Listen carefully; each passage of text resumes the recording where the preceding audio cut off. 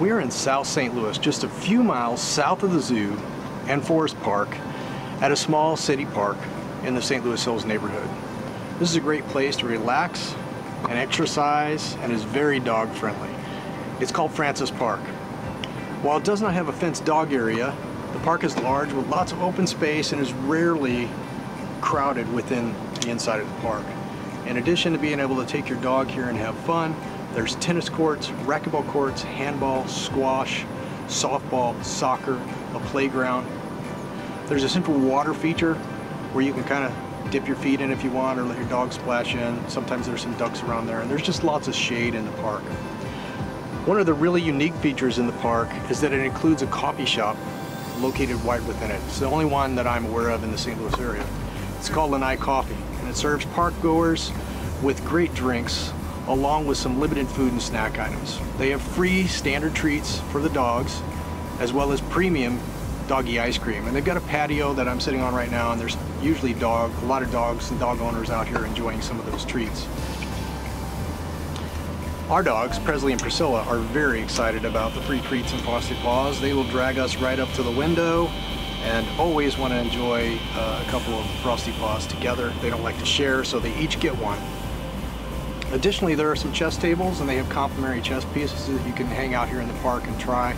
Um, or if you want to try tennis and racquetball, they've also got uh, uh, rental equipment and uh, balls for sale if you uh, didn't bring your uh, equipment with you. This park was uh, founded in 1960 and it was named after David Roland Francis. He donated 60 acres and that makes up the park today. Uh, he was a very prominent figure in uh, St. Louis and the Missouri area. He actually started, one of the, the big things he did was um, he, he was part or head of the Louisiana Purchase Exposition in 1889. He was the mayor of St. Louis and also the Missouri the governor, Missouri governor after that. Um, the park also hosts uh, several neighborhood events throughout the year, so if you're in this area, you should check out um, the St. Louis Hills neighborhood website. They have a Grub and Groove event, which is bands and, and, and food. Uh, that's really uh, one of the largest events in the park. They have Brew in the Lou, which is a, a beer tasting, wine tasting event. They also have Art in the Park, uh, which basically the Art in Park uh, artists are the ones that did the art sculptures and stuff throughout the the park as you walk through. There's also a professional cycling race, and if you have not seen professional cycling, it is extremely exciting.